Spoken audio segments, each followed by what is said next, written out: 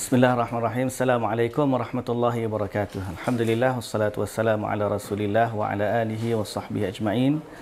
Alhamdulillah ini kunjungan kami dari Malaysia, Hukum Ahmad Hashimi bin Cepa dari Kuala Lumpur menziarahi pondok pesantren Al-Um di Kota Malang ini.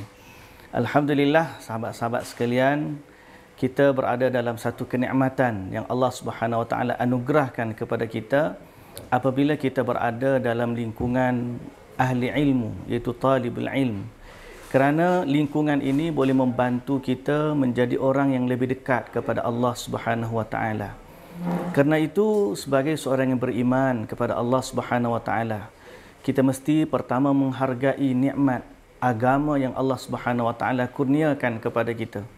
Seterusnya menghargai nikmat hidayah yang Allah Subhanahu wa taala anugerahkan juga kerana Allah pandu kita kepada apa yang Allah turunkan kepada Nabi sallallahu alaihi wasallam dan diajarkan oleh baginda Nabi sallallahu alaihi wasallam kepada para sahabat.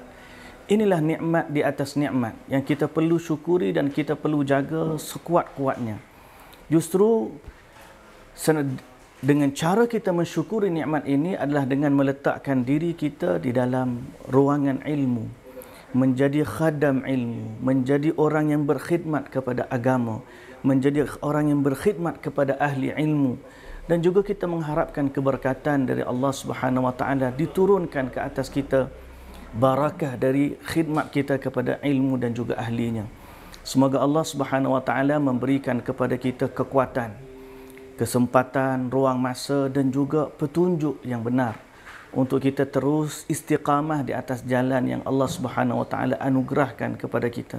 Dan alhamdulillah hari ini Ustaz sempat berkunjung ke pesantren Al-Um ini melihat sebahagian dari usaha untuk memertabatkan Al-Quran dan juga sunnah Rasulullah sallallahu alaihi wasallam.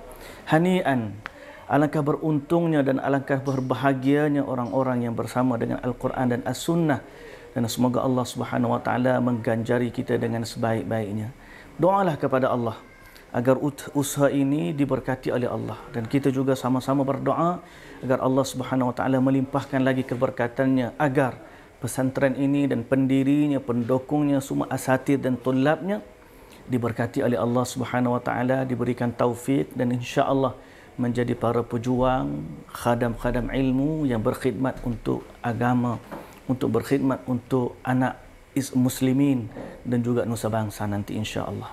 Mudah-mudahan diberkati wallahu taala alam. Assalamualaikum warahmatullahi wabarakatuh. Al-Um TV Selaksa Hikmah